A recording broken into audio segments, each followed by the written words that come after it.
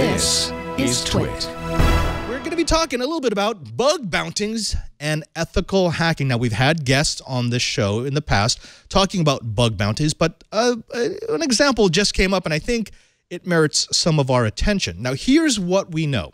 There's a security researcher with the handle of Siguza, and he discovered a local privilege escalation in LPE that gains a local attacker root access.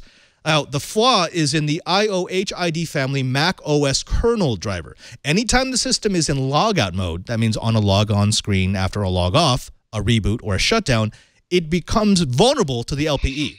Now, Siguza released to public without informing Apple. And this kind of turned a lot of heads because that's not the way that we do it. The acceptable, responsible way to release such information is to give the manufacturer a heads up and then a period of time so that they can fix and patch. However, Siguza didn't do that. And he actually explains his reasoning for not doing what we would call responsible disclosure. He stated two reasons. One, the vulnerability could not be implemented remotely, and therefore he felt that the threat was actually low.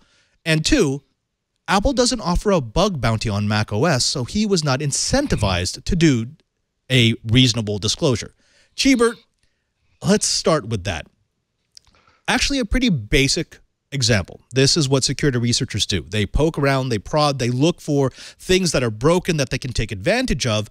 There's a lot of furor on both sides of this. You have some people in the security research world who are saying this is irresponsible. You don't do this. If you want to be respected, you always have to follow the rules. And then there are others who are saying, wait a minute. Apple has a bug bounty program, but they didn't include Mac OS they only included iOS and their other products. So if the company itself is not willing to incentivize someone to do responsible disclosure on their part, then can they uh, can they actually expect responsible uh, responsible disclosure? What are your thoughts? Well, actually, I think I normally I'm not real wild about rumors, but I keep hearing from lots and lots of different sources that Apple is actually even worse than doesn't provide incentives for bugs on Mac OS. Um, the stories I'm starting to hear is that they actually disincentivize people. Um, I keep hearing this one uh, example being passed around uh, with within a lot of the press saying that someone actually did try to inform Apple and then got sued because of it. Right. Um, so considering the arrogance that I keep hearing about Mac OS and Apple and how they handle bugs, I, I actually don't blame them. I think Apple needs to learn how to play better. I think bug bounties are actually a lot more important than a lot of people, you know, say. You know, I'm I'm going to steal a little bit of your your thunder here.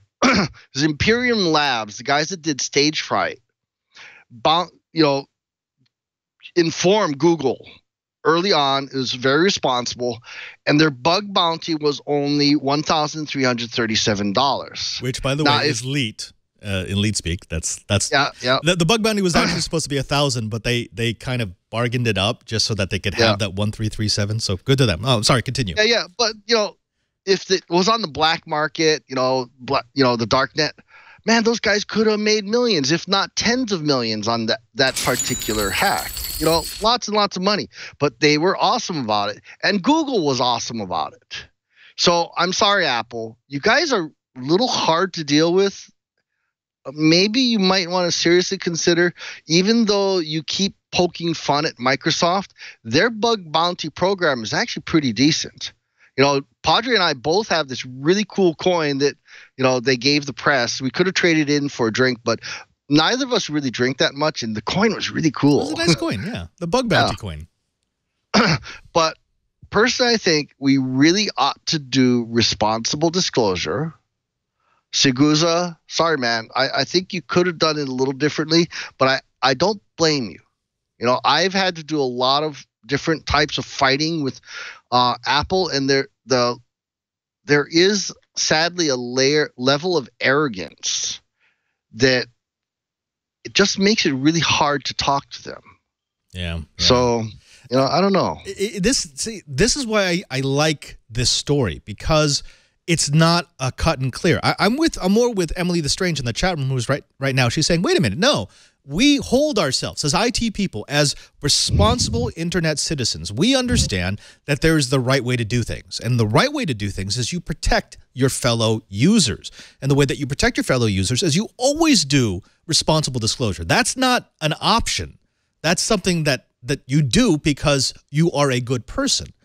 And, and I get that. And I, I hold that. And I, I'm more on that line than the others. On the other side, can these companies really expect to get something for free? I, mean, they benefit from bug bounty programs. They benefit from any bugs and exploits that are responsibly disclosed. But if they're not willing to give back to the security researcher community, if they're not willing to at least have guidelines, even for maybe not money, but for exposure, so that people can build up their names and looking for these bugs, then they're not incentivized. In fact, they're incentivized the other way. If someone spends tens, hundreds, thousands of hours looking for exploits inside of code and then can either give it away for free and never be mentioned, never get any rewards, or get reimbursed for those tens, hundreds, thousands of hours via the black hat side, then, I mean, it's kind of hard to fault them, right? Yeah. Uh, you know, I'm sorry you get a lot. I think you get a lot better results from a carrot than a stick. And you know, come on, you know, you you the uh, the guy that found this Siguza, literally by finding it, probably saved Apple what, couple hundred hours, couple thousand hours of developer time. Come on now, even at minimum wage, you know, for for heaven's sakes, give the guy some props. Yeah, or girl, but, but, whoever okay. Siguza is. Uh, that's right. That's right. We we shouldn't make that uh, that gender assumption. However, okay, I, am let me do devil's advocate. I'm going to back off a little bit and and bring us back to the bad old days. Go back 10, 15 years, and you'll remember uh, you you alluded to this in, in your first response that at one point in the security researcher industry, the nascent industry, if you discovered vulnerabilities, you could almost guarantee that you would get sued almost guarantee that they'd come after you. And I think we've gone past that. And there's sort of a detente between those people who find the holes, those people who patch the holes.